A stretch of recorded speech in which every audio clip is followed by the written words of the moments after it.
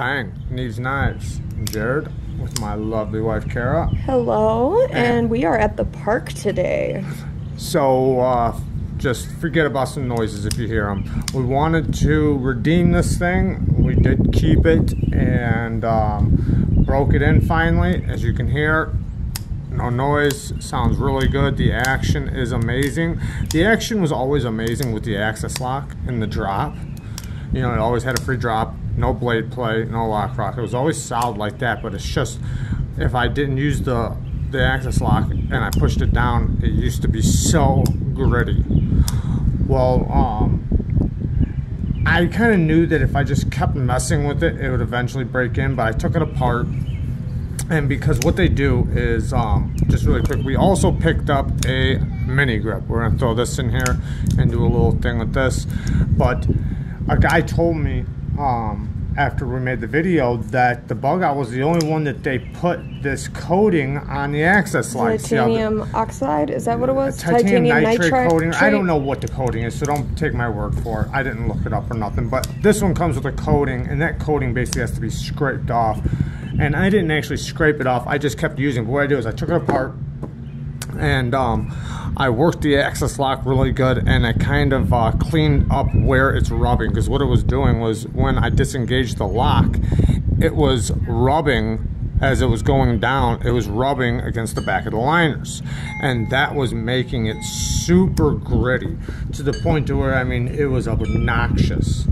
Well um you know the grip that doesn't do that at all and we just got this. This one's brand new and the action is amazing. It's also locked up um, it came a little tight but I just barely loosened the pivot and it's still no blade play. tight? that clip yeah this clip is insane. We understand where the name Griptilian comes from because this thing is gonna Griptilian your pants right off. I don't remember my other one being that tight. It's not that tight. No, but I'm saying from the heard, beginning. From I've heard from the start people saying about this clip, like making jokes about the name Griptilian and stuff because this bumpy uh, FRN scale under here mixed with this really look at that. Oh, whoa, whoa, whoa.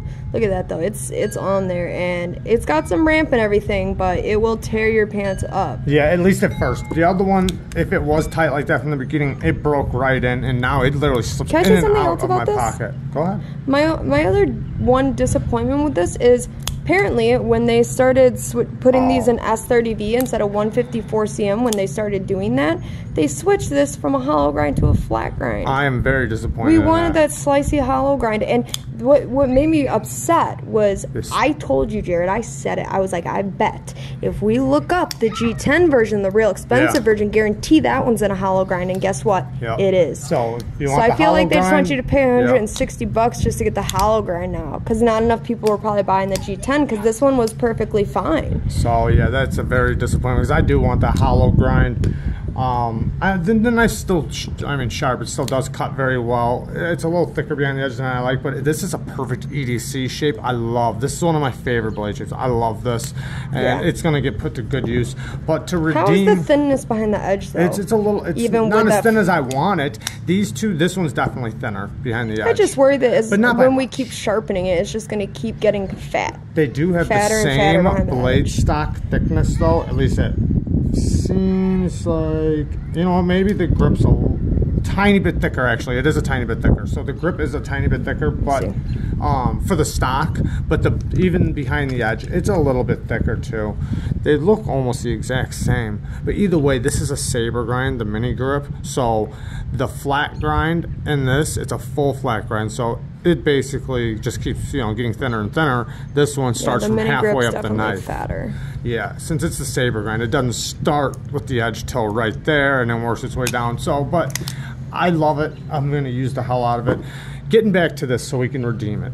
This is an awesome knife. It was very, very crappy though that it was so gritty because it took it did take i mean literally let's say if i would have just put this in my pocket and didn't sit there and flip it and flip it and flip it I don't know how long it would take to break in, but I'll tell you what, I probably did about three years worth of flipping on this thing Yeah. to get that grittiness stop. Most people said that theirs went away in a couple days.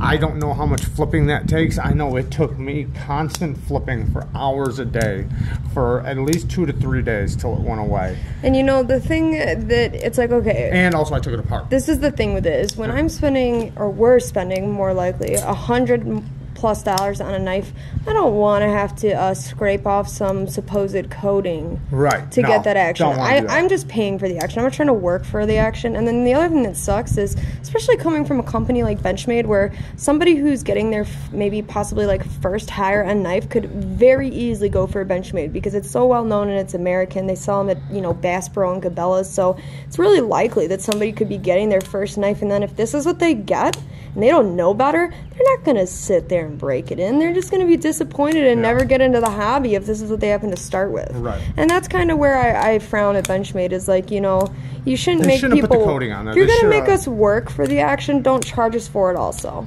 Right. that's my point. Yeah, they are a little bit pricey for what you're getting. But you know what though? I do love the knife. I love how light it is. I can wear this anywhere. I can wear this to the gym and you don't feel it. I Yeah, love that is light. We are cool. planning on switching the scales to a titanium version. I really do like those light ones though. It's our We'll only see one how like it goes. it. Um, one or the other, we're gonna do that with. Yeah. But even with the titanium scales, it's still under three ounces. I think it's only 2.3 or 2.8 ounces with the titanium scales. Sorry, if you get the titanium scales. But the action's amazing now. It's literally, and this came right out of the box with um action like that. It still does have a little stick. If you can hear it, listen. Not as bad as it was though. At least you can actually fling it out full force without having to use two hands to break it back down. I mean, if I do it just like that, it's not too bad. But if I fling and it it's only hard, getting better. it definitely gets a little sticky. But between these two knives, um, both the the stop pins are the same size. This one's obviously a little heavier. Um, I do like them both. I don't know which one I like more. I know this one will probably They're- cut. they're too this one would cut better if it had that hollow grind. They're too different to compare for me. I, They're not. want to compare them. I really do. Well, my thing, and I'll say quickly before we wrap this one up, because I know um, Yeah, yeah, yeah. this is just a little redemption here, not a comparison. But if we're gonna compare, I love this hole.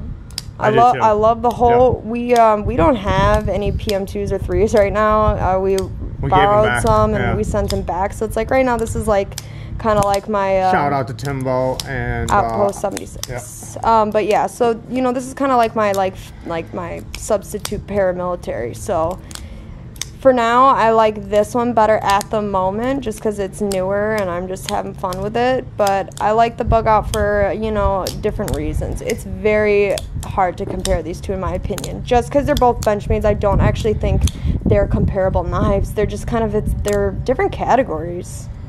Um, Besides the AXIS lock thing. So yeah, it's redeemed itself. It's very nice, and um, I mean they do still have the warranty, so you're pretty much paying for that because you do have a knife for life if you do get it. So that's awesome. Um, yeah, I do. I I might like the mini grip a little bit better. I don't know. This one is. Super I like the look of that one. I like the action of this one. I like the action of them both, but I, I love this blade shape. I love it. I love how thin this one is. That I wish teardrop handle just fills your hand nicely. if this was a hollow grind, it'd be no comparison to me. If um, but this one does have a little bit thinner, you know, edge. So, all right. Um, one more thing, I do want to throw a shout out to Bama Knife Guy. Check his page out. Oh, that awesome guy? guy. Yeah, that guy. That guy. That, oh that yeah, guy. that, that down south guy. So, um, but yeah, he's a good buddy of mine, of ours. And Ours. Ours, and I'm uh, friends with him. Check his page out. We He talk. just started, so give him some uh, some love, guys. Yeah, He his videos are it. great. Watch the hot sauce one; it's hilarious. Really nice guy though. Great guy, great guy to get to know, and we are very happy to be friends with him. So, bang. Bang! I'm never doing that again. I'm bad at it. Okay. All right. Bye. Um, Bye. Hold on. I'm not off. you're not off. Where's the button?